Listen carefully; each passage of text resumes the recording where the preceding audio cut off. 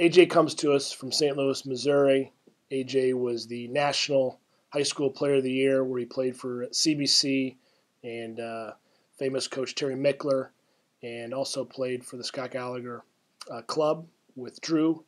Uh, AJ has also been a member of our under 17 national team. Um, without question, AJ uh, is a premier defender in this class and one that we had our sights on uh, for from a, from a long time.